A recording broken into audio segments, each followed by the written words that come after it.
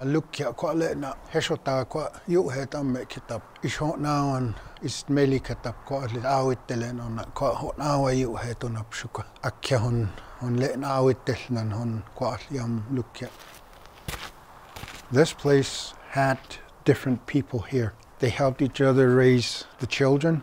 They helped each other with the buildings. Just looking at the walls of what's here, four, five, six story high buildings for it to be still standing.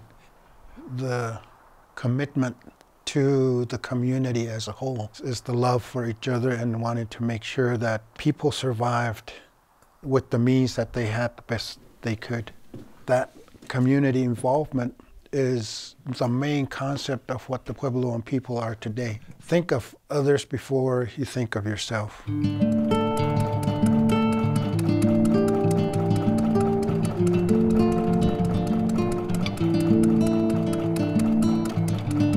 Chaco is one of the most important developments that happened in North America through time.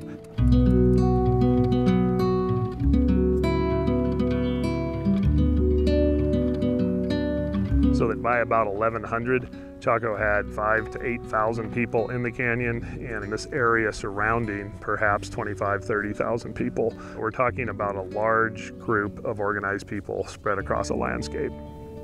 Our group and others have worked for almost a decade now to try to protect Chaco Canyon from the encroaching oil and gas development, which has in recent years crept closer and closer to the boundary of the national park. And as this has happened, individual sites have in many cases been protected, but then they develop wells and other oil and gas infrastructure all the way around these. So essentially this larger landscape has gotten compromised. And as I've worked with tribes over the last 10 years, it's become more and more clear to me just how important this landscape is to the groups who are descended from the people who built Chaco Canyon a thousand years ago.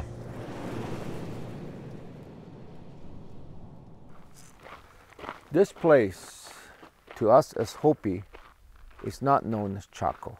It's known as Yupkoivi.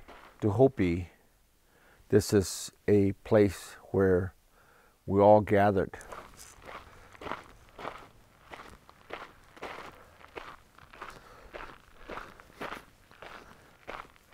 This here is our motherland.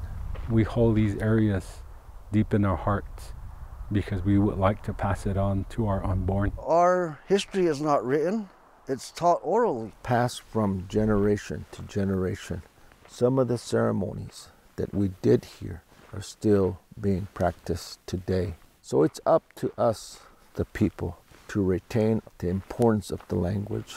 So na ta na mu wa gilgin ke o i e aingi aminat nang Ado di nihemani hostan nkanliet galt. Pena hon wappa ne nawe akya.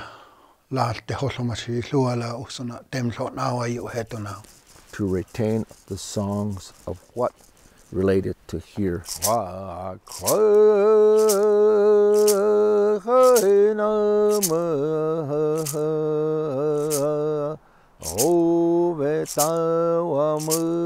When you extract anything from beneath you, is it still solid ground?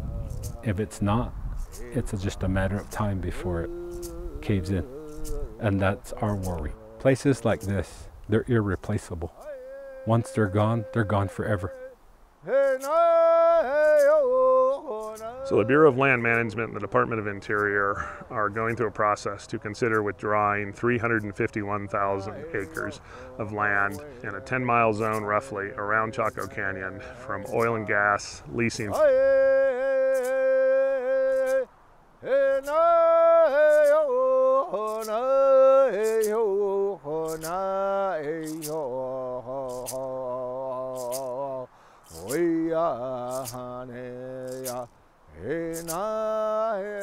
If it was possible for us as indigenous people to protect this place, it would have been done a long time ago. Our voices aren't that powerful, so we have to rely on the federal government to help us with protection.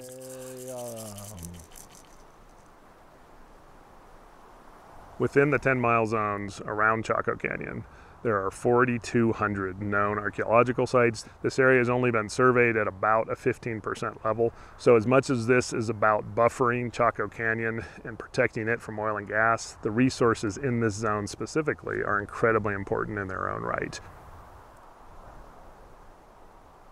The Navajo Nation government and Navajo allottees are not in favor of 10 miles of ancestral protections.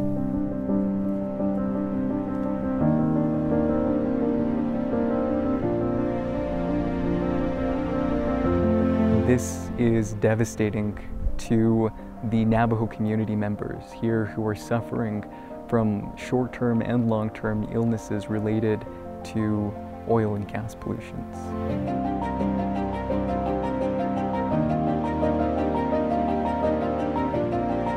It's very important that the uh, 19 Pueblos come together. Uh, these landscapes have the connection to our continuation of who we are as Pueblo people.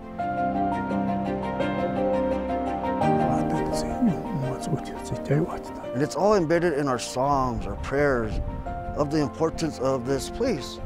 There is oil and gas drillings at the footsteps of the ancestral homes. Mm-hmm. To us, the people are still here.